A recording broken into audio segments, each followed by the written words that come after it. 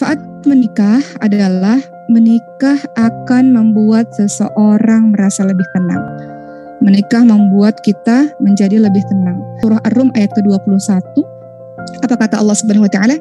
Di antara tanda-tanda kekuasaannya ialah dia menciptakan untukmu istri-istri dari jenismu sendiri supaya kamu cenderung merasa tentram kepadanya.